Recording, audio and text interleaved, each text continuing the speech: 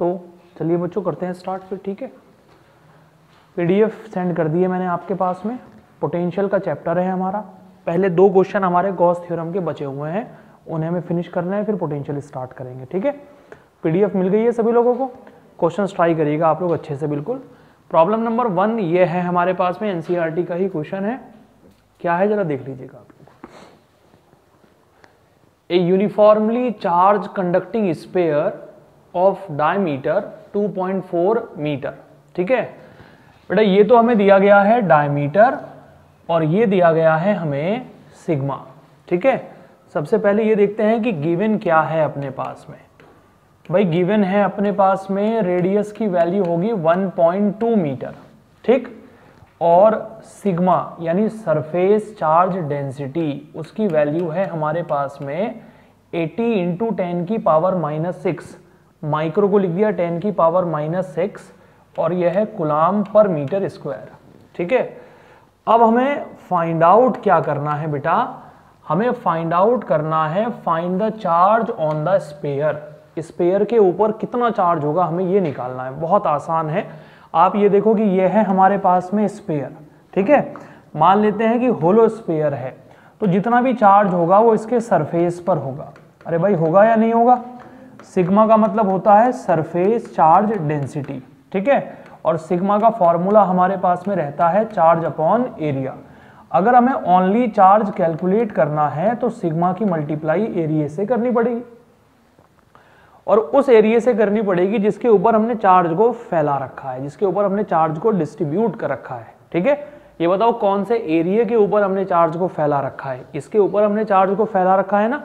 तो सिग्मा की मल्टीप्लाई करेंगे हम एरिया से so charge is equal to sigma बेटा एरिया हो जाएगा अपने पास में फोर पाई आर स्क्वायर अब बताओ सिग्मा है आपके पास में? फोर पाई तो कांस्टेंट है। आर की वैल्यू भी है हमारे पास में, ठीक है? आपको सिर्फ़ वैल्यू पुट करके ना कैलकुलेट करना है। सिग्मा हो गया है 80 इंटू टेन की पावर माइनस के सिक्स साथ में है फोर पाई और आर की वैल्यू हो गई है हमारे पास में 1.2 स्क्वायर हो गए ना 1.2 स्क्वायर समझ आया सभी लोगों को? चार्ज की वैल्यू निकल गई कुलम में। काय में निकली है? कुलम में। ठीक है? ये हो गया हमारा चार्ज फ़र्स्ट क्वेश्चन का आंसर हो गया ये। ये हमारा ए पार्ट का आंसर है बेटा। अब देखते हैं इसका जो सेकंड पार्ट है, जो उसका बी पार्ट है, उसमें हमें ये कहा what is the total electric flux leaving the surface of the sphere भाई, हमने इस स्पेयर के सरफेस पर पॉजिटिव चार्ज लेट कर रखा है। तो सरफेस से बहुत सारी लाइनें ऐसे बाहर की तरफ़ निकलेंगी। क्यों भाई निकलेंगी बच्चों?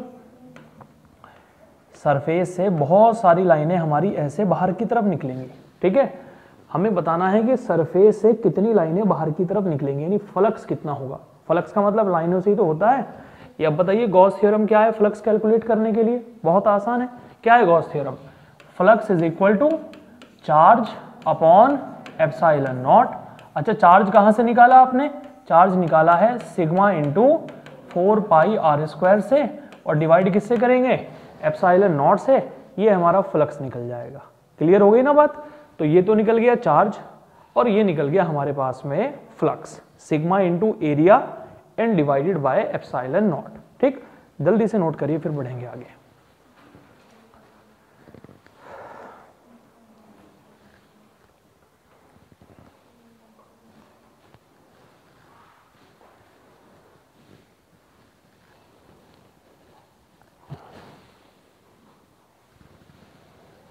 सैटरडे आप लोगों का एग्ज़ाम है बच्चों, ठीक है?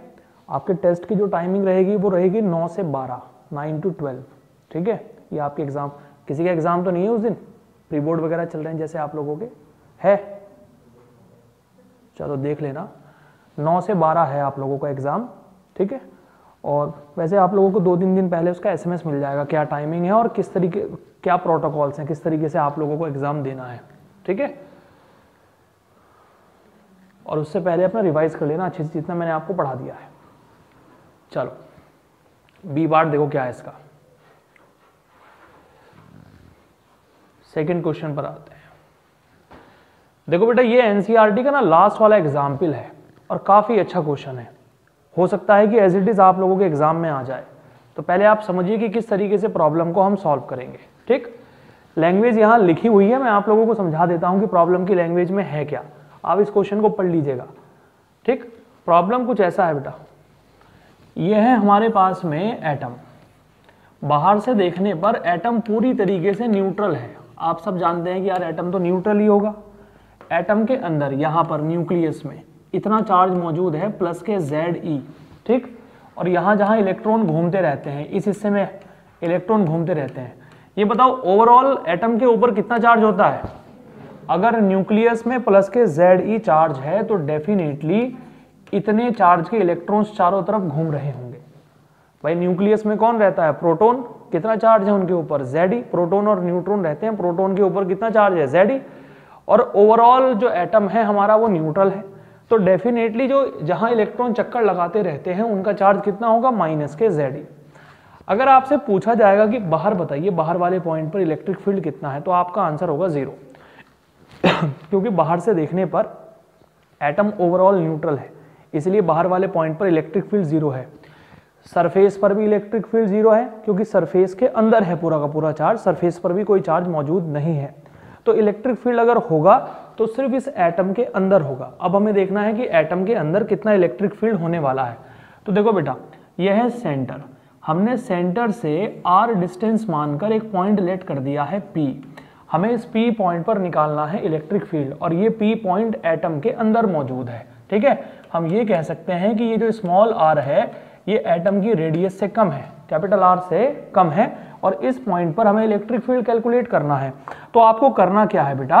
इस स्मॉल आर को रेडियस मानते हुए चारों तरफ़ एक गॉसियन सरफेस आपको इमेजिन कर देना है। ठीक है? स्मॉल आर को रेडियस मानकर हमने चारों तरफ़ एक गॉसियन सरफेस लेट कर दिया। जिस पॉइंट पर हमें इलेक्ट्रिक फ़ील्ड निकालना है, उसके अंदर अंदर गॉसियन सरफेस हम लोगों ने लेट कर दिया। अब हमें सिर्फ़ इसके अंदर अंदर का चार्ज चाहिए। यहाँ। ये जो ग्रीन मार्क कर रहा हूँ ना मैं, इस हिस्से का चार्ज मुझे चाहिए। और इलेक्ट्रिक फ़ील्ड निकालने का फॉर्मूला आप एक बार देख लीजिए क्या है। बेटा इलेक्ट्रिक फ़ील्ड निकालने के लिए हमारे पास में एक कॉमन कंडीशन है और वो ये इलेक्ट्रिक फ़ील्ड को कैलकुलेट करने के लिए ना, हमारे पास में कॉमन कंडीशन है और वो कॉमन कंडीशन है ये। E A is equal to Q upon epsilon naught E का मतलब है कि आपको इलेक्ट्रिक फ़ील्ड कैलकुलेट करना है तो इसे तो छेड़ करने की, इसके साथ तो कोई अदला बदला करने की कोई ज़रूरत नहीं है आप लोगों को, ठीक है? आप लोगों को ई निकालना है तो हम लोगों ने एक काम किया, ए को उठाकर हम इसके अपॉन में लेकर गए और ये बन गया हमारे पास में। Q upon A epsilon naught अब आपको एक तो चाहिए क्यू क्या चाहिए? और एक चाहिए एरिया क्यू क्या है? गॉसियन सरफेस के जो अंदर का चार्ज होगा, वो आपका क्यू कहलाएगा। और जो गॉसियन सरफेस का एरिया होगा, वो आपका कैपिटल ए कहलाएगा। मैंने गॉसियन सरफेस किसे माना? जिसे मैंने ग्रीन कलर की शेड किया है। बता सकते हैं कि इसकी रेडियस कितनी है? स्मॉल आर कितनी है? तो मैं लिख सकता हूँ भाई कि चार्ज तो हो गया क्यू एरिया हो गया four pi small r square और साथ में है एप्साइलन नॉट अब अगर किसी तरीके से हमें चार्ज इस ग्रीन वाले पोर्शन का चार्ज पता चल जाए तो हमारी पूरी प्रॉब्लम सॉल्व हो जाए। अब देखते हैं इस ग्रीन वाले पोर्शन के अंदर बेटा है क्या क्या ये बताओ, ये जो ग्रीन मैंने मार्क किया है, यानी यहाँ पर, देखो, इसके अंदर अंदर का चार्ज चाहिए आपको? इसके अंदर अंदर का चार्ज बेटा बताओ न्यूक्लियस इसके अंदर है या नहीं है? और कितना है न्यूक्लियस का चार्ज प्लस जेडी ठीक है? चारों तरफ़ यहाँ नेगेटिव चार्ज फैला पड़ा है, पूरी तरफ़, चारों तरफ़ नेगेटिव चार्ज यहाँ फैला पड़ा है। हमें इस वाले पोर्शन का भी चार्ज चाहिए, देखो ध्यान से, ये जिसपे मैं ब्लैक कलर कर रहा, ये ब्लू कलर कर रहा हूँ ना, यहाँ का मुझे चार्ज चाहिए, यहाँ का चार्ज बेटा, यहाँ कौन घूमता रहता है? इलेक्ट्रॉन इलेक्ट्रॉन का टोटल चार्ज कितना है?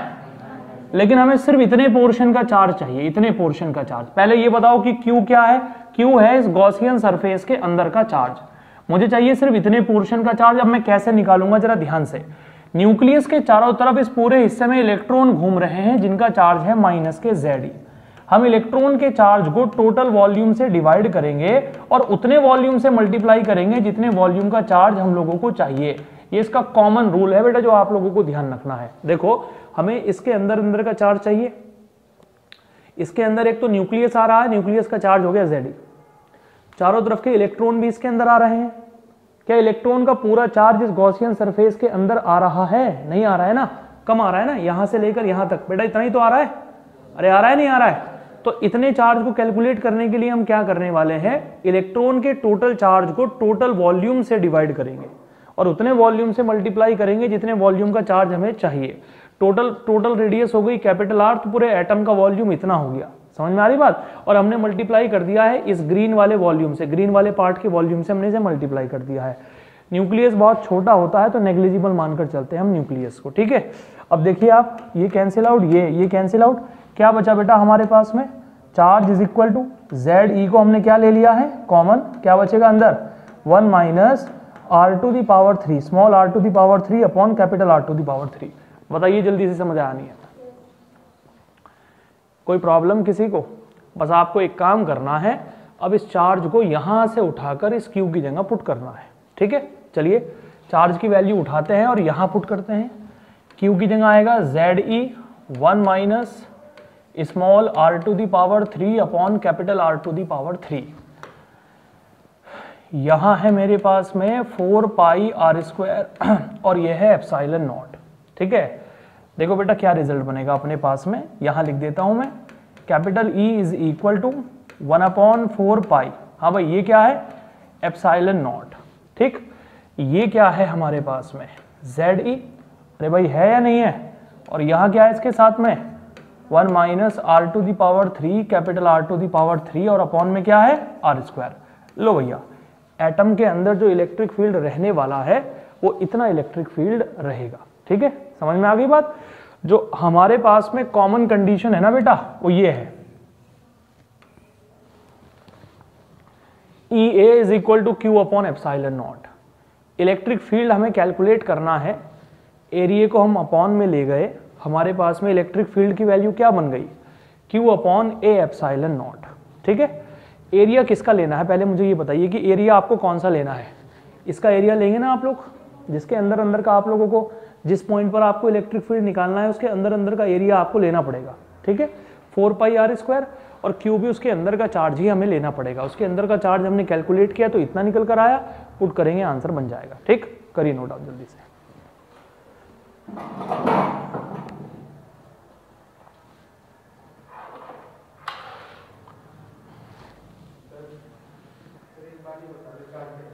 ये वाला चार्ज देख बेटा, इसके अंदर अंदर का चार्ज चाहिए हमें।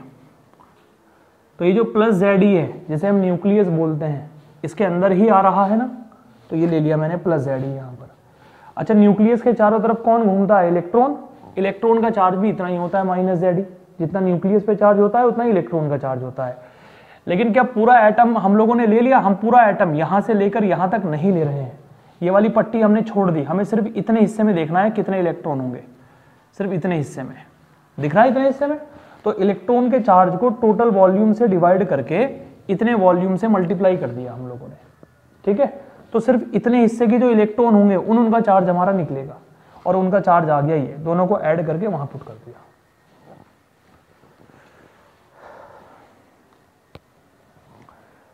बेटा, काफ़ी अच्छा क्वेश्चन है ये और बहुत अच्छे तरीके से आपको लिखना है। अगर कोई परेशानी लगे कोई तो मुझसे पूछ लेना क्लियर कर लेना बात को।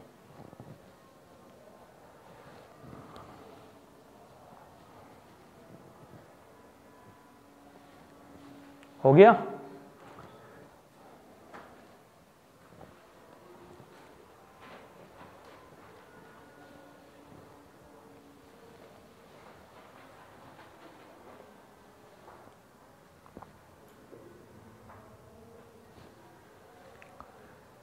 तो अब ठीक है, बस हमारा पूरा गॉस का काम फिनिश हो गया। ये दो क्वेश्चन रह गए थे, ये भी हमने आपको बता दिए। थियोरटिकल काम ऑलरेडी हम आपको बता चुके हैं, ठीक है? अब हमें क्या करना है? अब आ जाते हैं हम लोग इसके नेक्स्ट पॉइंट पर। अगला जो पॉइंट है बेटा हमारा, वो है इलेक्ट्रिक पोटेंशियल ठीक है? इलेक्ट्रिक पोटेंशियल के मैं क्वेश्चन स्टार्ट करूँ, उससे पहले आपको उसके इंपॉर्टेंट टॉपिक लिख लेने हैं जो आपको खुद से पढ़ने हैं उसके टॉपिक इलेक्ट्रिक पोटेंशियल जो उसके थियोरटिकल टॉपिक है। तीन चार क्वेश्चन है थियोरटिकल उन्हें अच्छे से तैयार करना है आपको। इलेक्ट्रिक पोटेंशियल बोले? इलेक्ट्रिक पोटेंशियल फ़र्स्ट टॉपिक है आपके पास में इलेक्ट्रिक पोटेंशियल का। Electric potential due to single isolated charge electric potential due to single isolated charge ठीक है, ये डेरिवेशन है बेटा, पूरी अच्छे से आपको तैयार कर लेनी है। Electric potential due to single isolated charge हो गया? नंबर टू नंबर टू आपको तैयार करना है potential gradient potential gradient potential gradient देखो, ये पोटेंशियल ग्रेडियंट की डेरिवेशन है E इक्वल टू माइनस के वी अपॉन डी इसके ऊपर जो कॉन्सेप्चुअल क्वेश्चंस बनेंगे, वो मैं खुद आप लोगों को बताऊँगा। आपको सिर्फ़ डेरिवेशन तैयार करनी है, ठीक है? E is equal to minus के V upon D potential gradient हम लोग इसे बोलते हैं, ठीक? नंबर तीन पर आइए। नंबर तीन पर आप रेडी करेंगे equipotential surface and its properties ये बहुत इंपॉर्टेंट है, इस पर वेरी वेरी वेरी इंपॉर्टेंट देखो, है तो ये पाँचों इंपॉर्टेंट लेकिन इन पाँचों में सबसे ज़्यादा इंपॉर्टेंट यही है equipotential surface and its properties ठीक है? उसमें एक पॉइंट और आता है shape of equipotential surface कैसे चार्ज के लिए, कैसी शेप बनेगी? Shape of equipotential surface shape of equipotential surface ठीक? Next electric potential energy next है electric potential energy electric potential energy और लास्ट है electric potential at axial point और electric potential at random point electric potential at axial point और electric potential at random point ये derivation आपको यहाँ से तैयार करनी है। अब क्वेश्चंस मैं आप लोगों को बता रहा हूँ कि पोटेंशियल में न्यूमेरिकल कॉन्सेप्चुअल थियोरिटिकल जो थोड़ा सा सोचने वाले क्वेश्चन है, वो आप लोगों को कैसे बनाने हैं? नंबर वन क्वेश्चन से हम लोग स्टार्ट करेंगे। देखो बेटा। प्रॉब्लम नंबर वन काफ़ी अच्छा क्वेश्चन है, बहुत बढ़िया क्वेश्चन है। और बहुत ध्यान से आप लोगों को देखना है, ठीक है? करें स्टार्ट देखो पोटेंशियल ये हमारी फ़र्स्ट प्रॉब्लम है पोटेंशियल की और क्या कह रही है? Two charge conducting sphere of radii A and B are connected to each other by wire what is the ratio of electric field at the surface of two sphere? Use the result obtained to explain why charge density, ठीक है, ये तो बता ही देंगे हम लोग, कोई दिक्कत नहीं है। अब आप देखो कि हम लोगों को बताना क्या है बेटा। यह है हमारे पास में एक स्पेयर ठीक? हमने माना इस स्पेयर का जो चार्ज है वो Q1 है और इस स्पेयर की जो रेडियस है वो A है। ये हमारे पास में दूसरा गोला है, इसका चार्ज है Q2 और इसकी रेडियस है B हमने क्या किया? इन दोनों को कनेक्ट कर दिया आपस में by using a metallic wire हमने दोनों को आपस में कनेक्ट करा दिया, ठीक है? अब इलेक्ट्रोस्टैटिक का कॉन्सेप्ट ये कहता है कि जैसे ही आप दो बॉडीज को कनेक्ट कराओगे ना, इन दोनों का पोटेंशियल सेम हो जाएगा। जिसे हम कॉमन पोटेंशियल का नाम देंगे, ठीक है? अब ये बताओ इस पर चार्ज कितना है? Q1 और इसकी रेडियस कितनी है? तो इसका पोटेंशियल हो गया one upon four pi epsilon naught Q one upon A जल्दी बताओ समझ में आया या नहीं आया, ठीक है? दूसरे वाले का पोटेंशियल कितना हो गया? दूसरे वाले का पोटेंशियल हो गया one upon four pi epsilon naught charge कितना है? क्यू रेडियस कितनी है? बी और दोनों को हमने इक्वल रखा, ठीक? प्रीतम इक्वल क्यों रखा? पोटेंशियल सेम कह रखा है तुम्हें क्वेश्चन के अंदर? कनेक्ट किया है by using a metallic wire clear हो गई बात? अच्छा अब देखो ये तो कैंसिल आउट हो गया यार हमारे पास में। क्या बचा बेटा हमारे पास में? Q1 one upon Q two is equal to A upon B अरे भाई, बचा या नहीं बचा? ए इधर चला गया और बी वहाँ है। So Q1 one upon Q two is equal to A upon B clear हमें चाहिए इलेक्ट्रिक फ़ील्ड का रेशो पोटेंशियल का रेशो तो हमारे पास में है, हमें इलेक्ट्रिक फ़ील्ड का रेशो निकालना है सरफेस पर कितना होगा। देखो, ये फॉर्मूला तो होता है पोटेंशियल का। बस इलेक्ट्रिक फ़ील्ड में नीचे ए के ऊपर स्क्वायर लग जाएगा। तो बताइए, पहले सरफेस पर इलेक्ट्रिक फ़ील्ड कितना होगा? पहले सरफेस पर इलेक्ट्रिक फ़ील्ड होगा k Q one upon A square सभी लोग जानते हो के क्या है? One upon four pi epsilon naught दूसरे स्पेयर पर पोटेंशियल कितना होगा? K Q two upon B square क्यों भाई समझे या नहीं समझे? ठीक है? ये पहले गोले पर इलेक्ट्रिक फ़ील्ड है, ये दूसरे गोले पर इलेक्ट्रिक फ़ील्ड है। के से के हमारा कैंसिल आउट बी स्क्वायर की मल्टीप्लाई हो जाएगी ऊपर। तो ये बनेगा हमारे पास में B square upon A square और Q1 के अपॉन में आएगा Q2 Q1 अपॉन Q2 जल्दी से बताओ, समझ में आया या नहीं आया? हम पहले ही रिज़ल्ट निकाल चुके हैं। क्या रिज़ल्ट निकाला हमने पहले ही? Q1 अपॉन Q2 किसके इक्वल है? A अपॉन बी के। Q1 वन अपॉन Q2 किसके इक्वल है? A अपॉन बी के। तो इलेक्ट्रिक फ़ील्ड का रेशो देखो कितना आ गया हमारे पास में।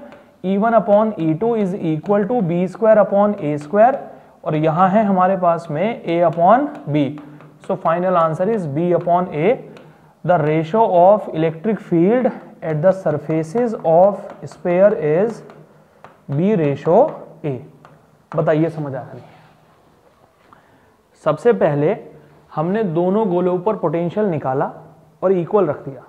रख दिया इक्वल जो कैंसिल आउट हुआ, उसे कैंसिल आउट किया। ये रिज़ल्ट मिल गया हम लोगों को। ठीक है? उसके बाद हमने इलेक्ट्रिक फ़ील्ड का रेशो बना दिया।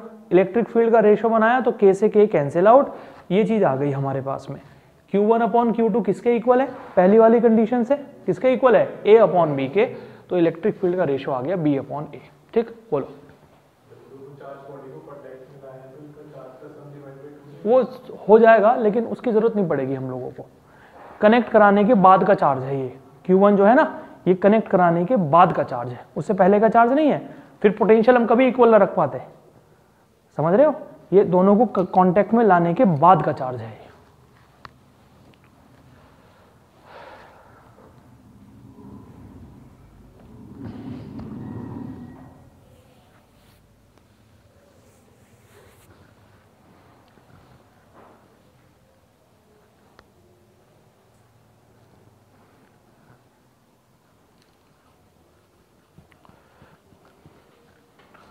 ठीक है?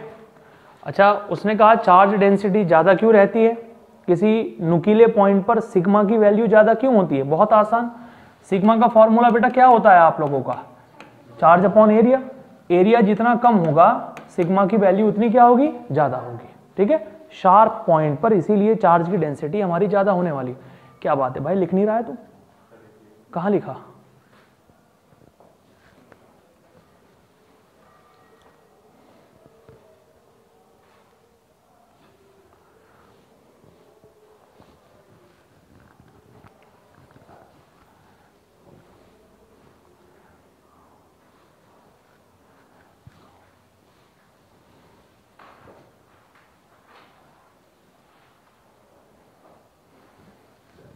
ठीक है?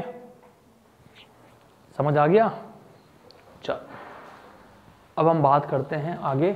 नेक्स्ट क्वेश्चन देखो क्या है हमारे पास में। देखो बेटा नेक्स्ट प्रॉब्लम क्या है हमारे पास में? Three infinitely long charge sheets are placed as shown in figure find the electric field at point P भाई, सबसे पहले आप ये देखो कि तीन प्लेट्स हैं आपके सामने। ये पहली प्लेट जिस पर चार्ज की डेंसिटी कितनी है? सिग्मा। दूसरी प्लेट पर कितनी है? माइनस के टू सिग्मा। तीसरी प्लेट पर कितनी है? Minus sigma. और हमें किस पॉइंट पर इलेक्ट्रिक फ़ील्ड बताना है? पी पॉइंट पर। समझ रहे हो? चलो, स्टार्ट हो जाते हैं। एक सिंगल प्लेट की वजह से जो इलेक्ट्रिक फ़ील्ड का फॉर्मूला होता है, electric field due to single charge plate, वो होता है sigma upon two epsilon naught. होता है ना sigma upon two epsilon naught? पहले हम डायरेक्शन देखते हैं। पहली प्लेट पर कैसा चार्ज है? जब इस पॉजिटिव की वजह से यहाँ इलेक्ट्रिक फ़ील्ड निकालेंगे डायरेक्शन जाएगी नीचे। आगे समझ में? और हमने इसे नाम दिया E1 जब प्लस की वजह से यहाँ इलेक्ट्रिक फ़ील्ड निकालेंगे डायरेक्शन नीचे, हमने इसे E1 नाम दे दिया। बेटा, इस प्लेट पर कैसा चार्ज है? नेगेटिव जब इस नेगेटिव की वजह से यहाँ निकालेंगे तो डायरेक्शन नेगेटिव की तरफ़ हमने इसे नाम दे दिया E2 समझ में आ गई बात? जब तीसरे वाली प्लेट पर कैसा चार्ज है? नेगेटिव जब इस नेगेटिव की वजह से यहाँ निकालेंगे डायरेक्शन नीचे की तरफ़ और हमने इसे क्या नाम दे दिया? जल्दी से बताओ, समझ में आया या नहीं आया? E1 भी नीचे E2 भी नीचे E3 भी नीचे, तीनों नीचे चले गए। जब तीनों एक ही डायरेक्शन में चले गए तो हम क्या लिखेंगे? हम लिखेंगे resultant electric field at point P is equal to E one plus E two plus E क्यों भाई, बच्चों, समझ में आया? अब बताओ E1 कौन सी प्लेट की वजह था? पहली प्लेट की वजह से था। पहली प्लेट पर चार्ज की डेंसिटी क्या है? हम इस सिग्मा को डिवाइड कर देंगे टू एप्साइलन नॉट से। आगे समझ में? दूसरी प्लेट पर कैसा चार्ज है? माइनस माइनस नहीं लेना है। माइनस सिर्फ़ डायरेक्शन दिखाने के लिए है। कितना है डेंसिटी टू सिग्मा अरे डेंसिटी कितनी है? डिवाइड करोगे टू एप्साइलन नॉट से। आगे समझ में? अब तीसरी प्लेट पर आइए। कितना है चार्ज माइनस सिग्मा, माइनस नहीं लेना है, वो सिर्फ़ डायरेक्शन दिखाने के लिए है। तो क्या करोगे? सिग्मा से किसे डिवाइड करोगे? टू एप्साइलन नॉट को। So resultant electric field is equal to ध्यान से resultant electric field is equal to sigma upon two epsilon naught sigma upon two epsilon naught sigma upon two epsilon naught. क्या बनेगा? Four sigma upon अब मुझे बताओ, ऊपर ऊपर ऊपर की तरफ़ कौन सी डायरेक्शन है? अरे बोलो भाई। नीचे की तरफ़ क्या होगी? E1 भी नीचे E2 भी नीचे E3 भी नीचे तो रिजल्टेंट भी कहाँ जाएगा? रिजल्टेंट भी नीचे जाएगा। तो बताओ रिजल्टेंट किसकी डायरेक्शन में जा रहा है? तो एक तो लगाएँगे माइनस और z का मतलब होता है k कैप क्या होता है? तो रिजल्टेंट इलेक्ट्रिक फ़ील्ड बन गया हमारे पास में ये माइनस के four sigma upon two epsilon naught k cap बताओ आ गया समझ में। एक बार और बताएँ, कौन से पॉइंट पर हमें इलेक्ट्रिक फ़ील्ड निकालना है? इस पॉइंट पर। पहले देखो कि तीनों प्लेट पर कैसा चार्ज है और उसकी वजह से डायरेक्शन क्या होगी। पहली प्लेट पर पॉजिटिव जब इस पॉजिटिव की वजह से यहाँ निकालेंगे डायरेक्शन नीचे आ गया समझ में? अब इधर पॉजिटिव ठीक? दूसरी प्लेट पर कैसा चार्ज है?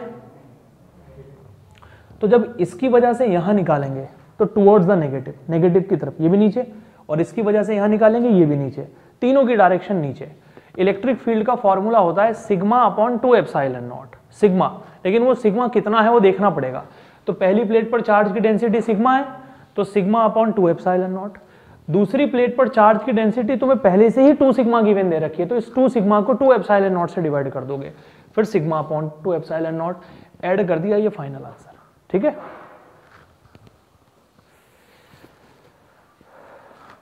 हो गया भाई?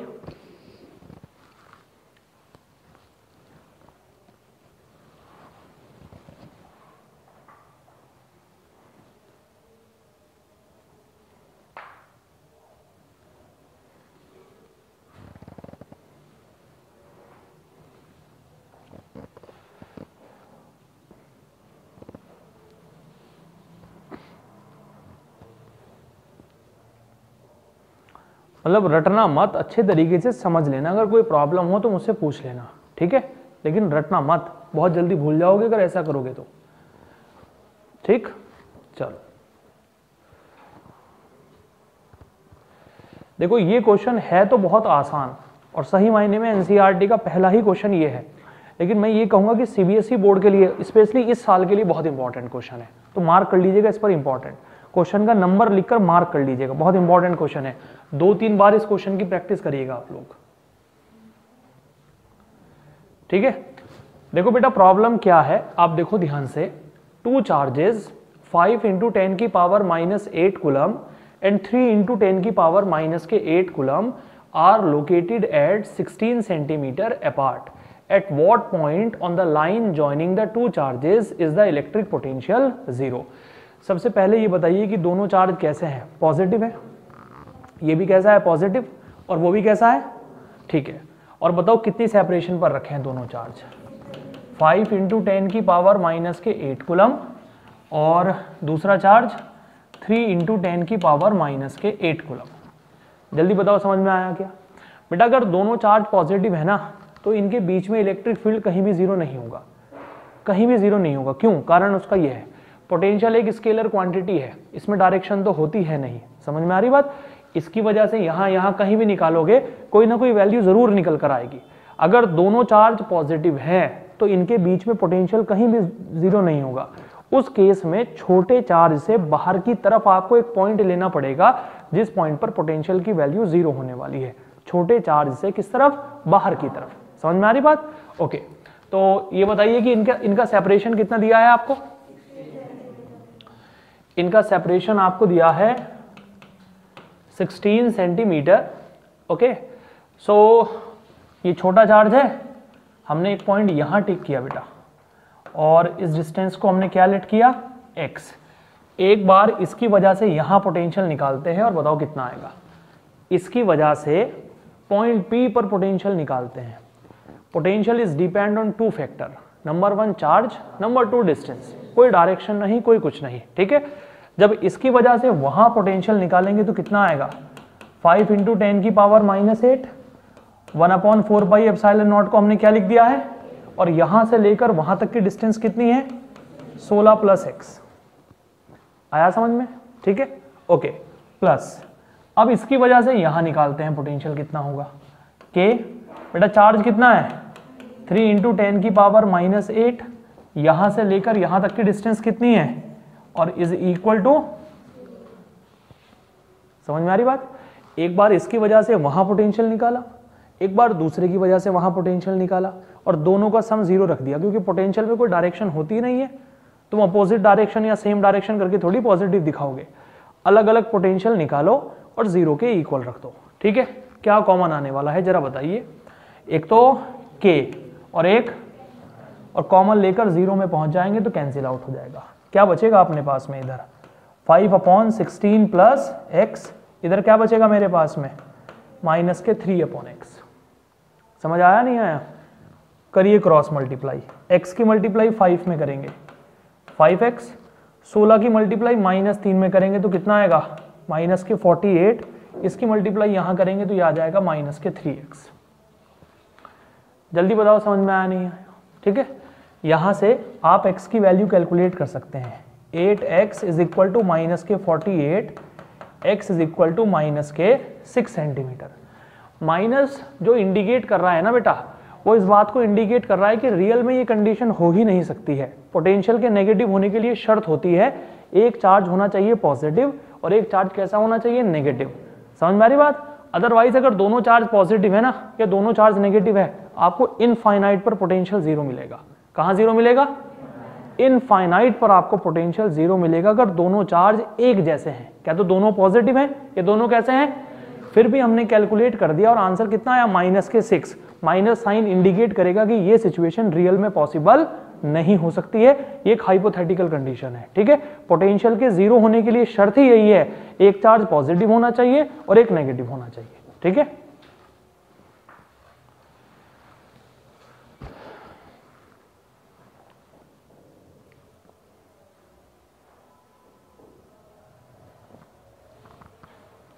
सेम क्वेश्चन में अगर ये चार्ज हमारे पास में नेगेटिव होता, कैसा होता?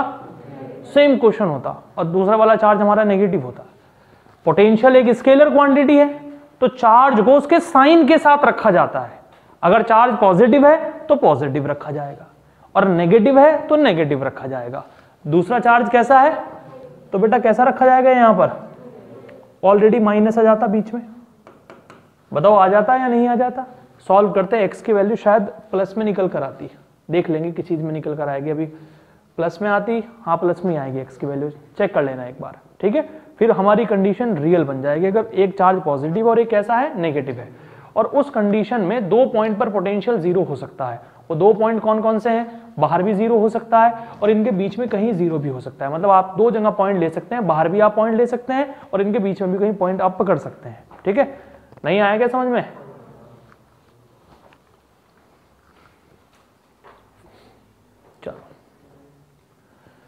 बस ठीक है, बातें मत करो। क्या हुआ? कोई प्रॉब्लम है क्या भाई?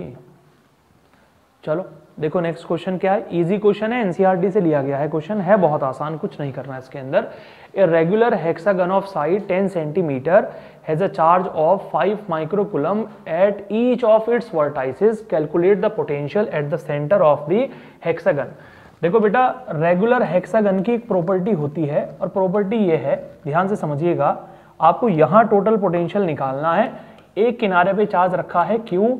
एक साइड दे रखी है 10 सेंटीमीटर अगर ये 10 सेंटीमीटर है तो डेफिनेटली ये भी 10 सेंटीमीटर होगी। ये रेगुलर हेक्सागन की प्रॉपर्टी है। जितनी एक साइड होती है, उतनी ही एक कॉर्नर से सेंटर तक की डिस्टेंस होती है।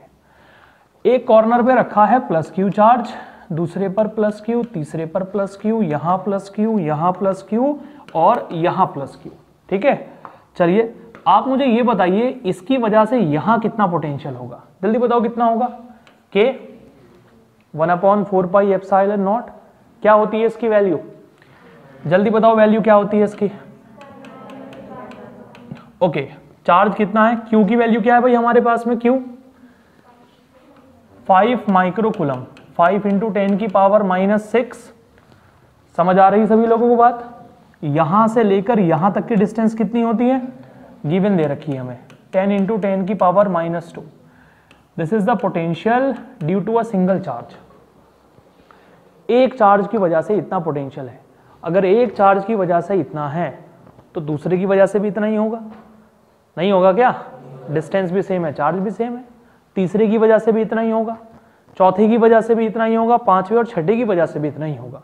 अब पोटेंशियल कोई वेक्टर क्वांटिटी तो है नहीं कि भाई वो एक दूसरे को कैंसिल आउट कर देंगे। स्केलर क्वांटिटी है, सबकी वजह से पोटेंशियल निकाला, उठाकर आपस में जोड़ दिया। एक चार्ज की वजह से इतना पोटेंशियल है। हेक्सागन के कितने कॉर्नर हैं? One two three four five six total potential निकालना है तो किससे मल्टीप्लाई करनी पड़ेगी? सिक्स से मल्टीप्लाई करेंगे कैलकुलेट करेंगे प्रॉब्लम सॉल्व आ गया समझ में? बोलो। कर लोगे अपने आप? ठीक है, अपने आप बनाना इस क्वेश्चन को। इजी है, बना पाओगे आराम से। देखो बेटा।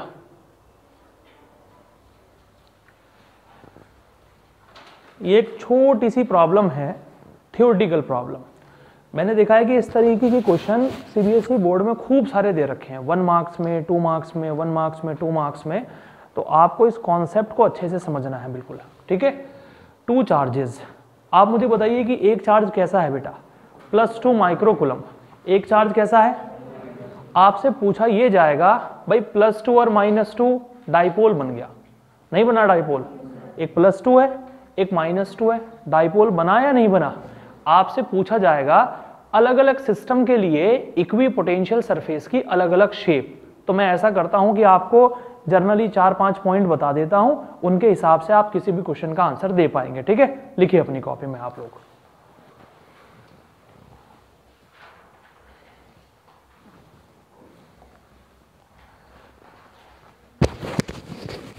देखो बेटा सिंगल चार्ज की वजह से due to a single charge बेटा सिंगल चार्ज की वजह से इक्वी पोटेंशियल सरफेस की जो शेप रहेगी, वो स्पेरिकल शेप रहेगी, ध्यान से। Due to a single charge single charge की वजह से जो शेप रहेगी, वो स्पेरिकल शेप रहेगी, ठीक है? और जैसे जैसे आप चार्ज से दूर जाओगे वैसे वैसे पोटेंशियल कम होता जाएगा। जैसे मैंने तीन पॉइंट लेट कर दिए यहाँ पर। इस पॉइंट को नाम दिया ए ये है बी और ये है सी समझ में आ रही बात? तो मैं कहूँगा ए वाले पॉइंट पर पोटेंशियल सबसे ज़्यादा है बी पर उससे कम है सी पर सबसे कम है। समझ में आ रही बात? ये पॉजिटिव चार्ज की वजह से है। क्लियर हो गई है ना बात? नेक्स्ट नंबर टू ये हो गया नंबर वन नंबर टू है हमारे पास में, अगर हमें कोई नेगेटिव चार्ज दे रखा है, और ये चार्ज भी सिंगल है भैया तो नेगेटिव चार्ज की वजह से भी जो इक्वी पोटेंशियल सरफेस की शेप रहेगी, वो स्पेरिकल शेप रहेगी स्पेरिकल एक पॉइंट यहाँ पर है, एक पॉइंट यहाँ पर है, एक पॉइंट यहाँ पर है. अरे भाई, ध्यान देना जरा अच्छे से, ठीक है? स्पेरिकल शेप रहेगी due to a single charge single isolated charge ठीक है? अच्छा कौन सा पॉइंट नेगेटिव के सबसे ज़्यादा नज़दीक है? ए वाला, इस बार उल्टा हो जाएगा। जो पॉइंट दूर होगा नेगेटिव की वजह से, उस पर पोटेंशियल ज़्यादा होगा और जो नज़दीक होगा, उस पर पोटेंशियल कम होगा। बताओ सबसे ज़्यादा पोटेंशियल किस पर होगा? सी पर। फिर किस पर होगा? समझ में आ रही बात? फिर किस पर होगा? ए पर। ये नेगेटिव का केस है और ये पॉजिटिव का केस है। क्लियर हो गई ना बात? अच्छा अगला पॉइंट हमारे पास में यह है बेटा। नंबर तीन पॉइंट अगर यहाँ रखा है एक माइनस के क्यू चार्ज और यहाँ रखा है प्लस क्यू चार्ज बताओ ये डाइपोल बना या नहीं बना? हम्म? क्या?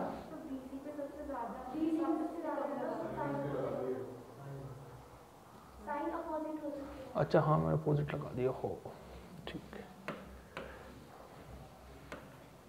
ठीक है?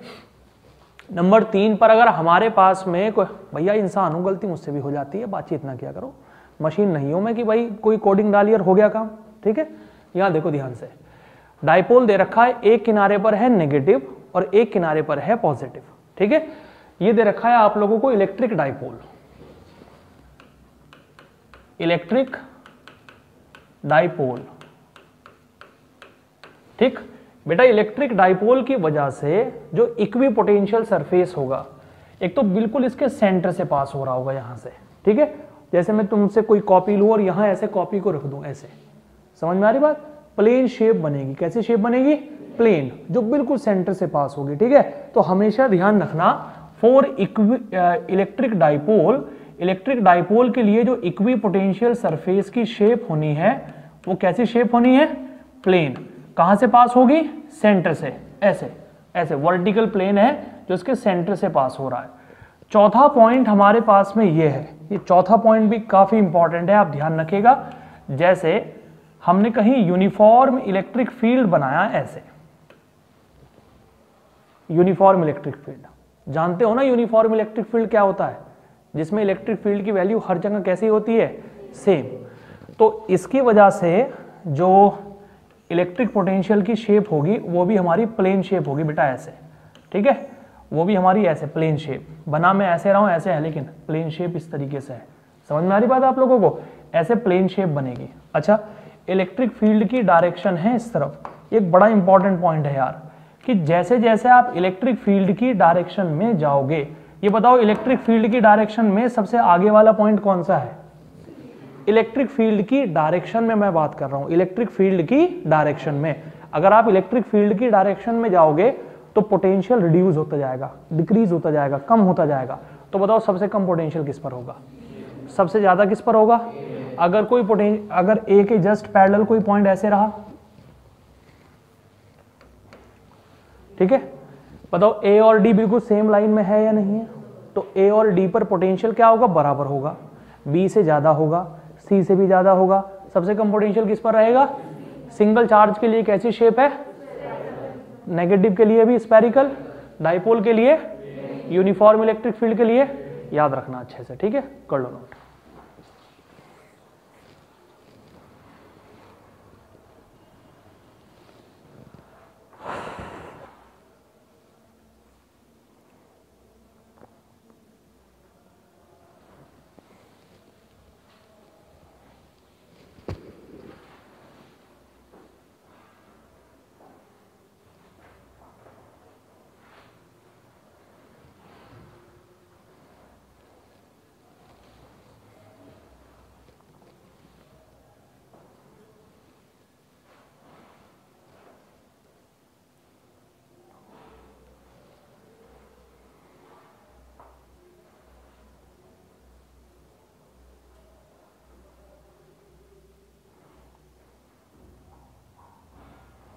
ठीक? याद रखना इसे। क्वेश्चन बन जाता है यहाँ से। अब ये वाले सवाल का जवाब अब मेरे हिसाब से आप खुद दे पाएँगे। एक चार्ज दो, एक चार्ज माइनस दो। तो ये बन गया डाइपोल। क्या बन गया? क्या पूछा है आप लोगों से? Identify an equipotential surface of the system. कैसा होगा इक्वी पोटेंशियल सरफेस? प्लेनर या प्लेन शेप में होगा। समझ में आ रही बात आप लोगों को? और नेक्स्ट क्या है भाई हमारे पास में? What is the direction of electric field at every point on this surface हमेशा इक्वी पोटेंशियल सरफेस और इलेक्ट्रिक फ़ील्ड एक दूसरे से 90 डिग्री का एंगल बनाते हैं। कितने डिग्री का एंगल बनाते हैं? तो आप लिख सकते हो डायरेक्शन होगी perpendicular to the surface perpendicular to the या नॉर्मल टू द सरफेस समझ में आ रही बात? लिख पाओगे ना? ठीक है? डायरेक्शन होगी सरफेस के नॉर्मल या सरफेस के परपेंडिकुलर और इक्वी पोटेंशियल सरफेस कैसा बनने वाला है? प्लेन शेप बनने वाला है। क्लियर है ना? Okay okay. अभी नहीं बताते, ये सवाल आगे बताएँगे। चलो भाई, ये प्रॉब्लम देखो बेटा, आपके पास में क्या है? इन सारे क्वेश्चंस को अपनी कॉपी में लिखते भी रहना, कभी बस यूँ ही चल रहा है काम, कि भाई हम तो सब अच्छे से याद कर रहे हैं। A cube of side b has a charge q at each of its vertex determine the potential and electric field due to charge अरे at the centre of the cube ठीक है? प्रॉब्लम आप देखिए, ध्यान से क्या है प्रॉब्लम बेटा? हमें दिया गया है क्यूब, कुछ इस तरीके से।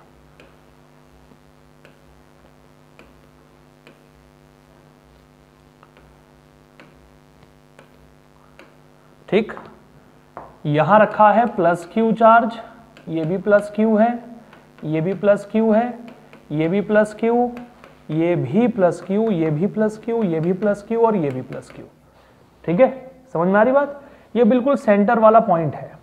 इसकी एक साइड आपको दे रखी है बी क्या दे रखी है भाई? दूसरी साइड भी हमें दे रखी है बी अब मुझे एक बात बताओ, ये एंगल कितने डिग्री का होगा? ये साइड कितनी है? ये भी साइड कितनी है? ये साइड कितनी हो जाएगी? Under root two b according to Pythagoras theorem हो जाएगी ना? अब मुझे ये बताना, अगर ये side under root two b है, और ये साइड कितनी है? बी अरे कितनी है भाई?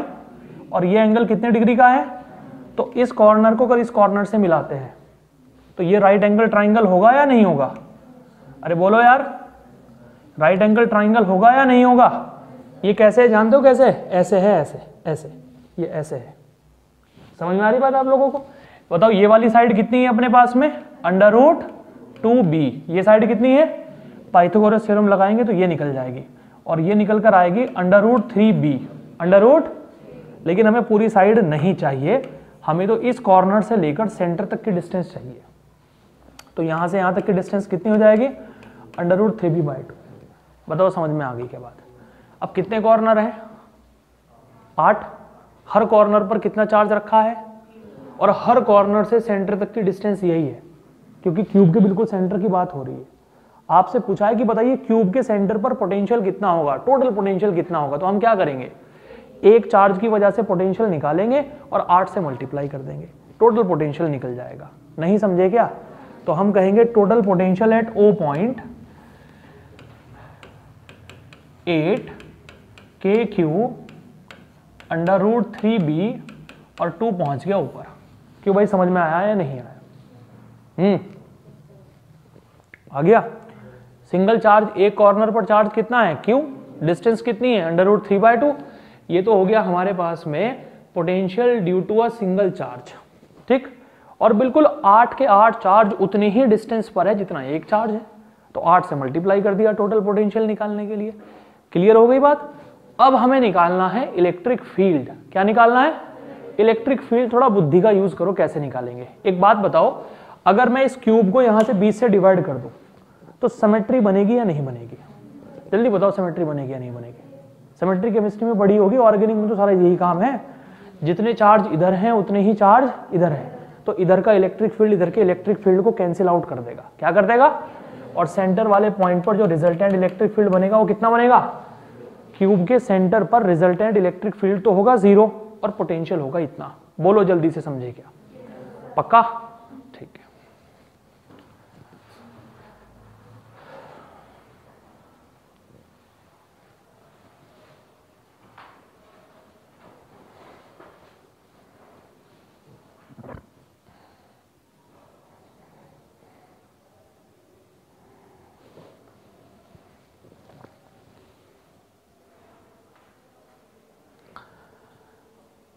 तो भैया टेस्ट के लिए तुम्हें अब क्या करना है?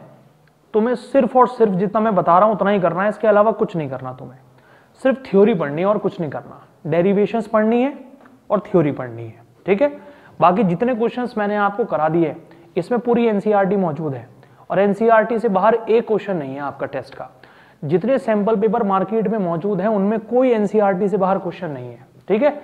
तो आप लोगों का काम है सिर्फ़ डेरिवेशन अपनी तैयार करिए और बाकी क्वेश्चन अपनी कॉपी से तैयार करिए, क्योंकि इसके अंदर सारे क्वेश्चन मौजूद हैं आप लोगों के।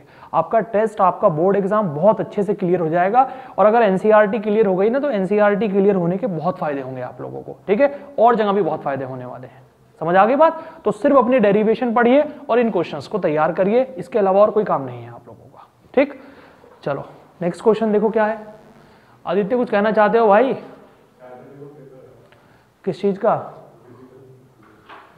फ़िज़िकल एजुकेशन किस, क्या टाइमिंग है तुम्हारे पेपर की?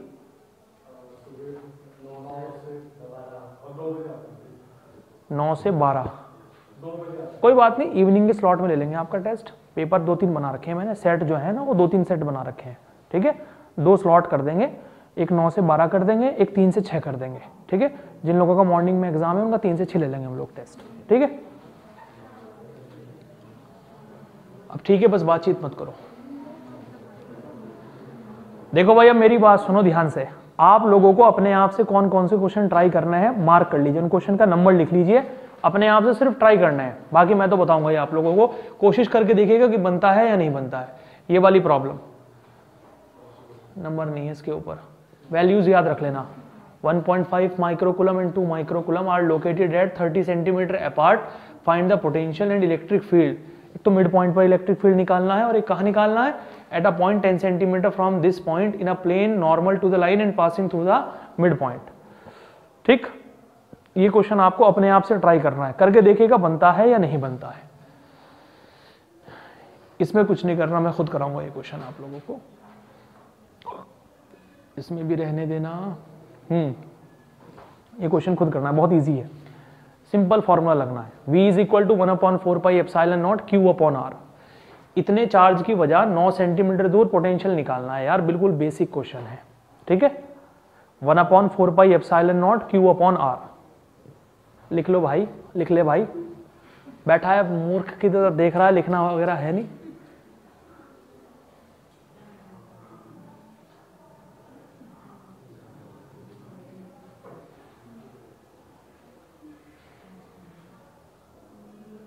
एक ये सवाल आपको खुद करना है।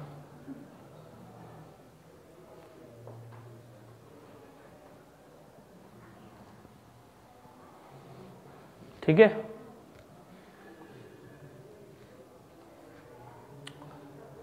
बस बाकी मैं खुद कराऊँगा आप लोगों को। एक तो जितने क्वेश्चन मैंने कराए, इन्हें रिपीट करना और बाकी की जो दो तीन प्रॉब्लम दी है इन्हें अपने आप से ट्राई करना।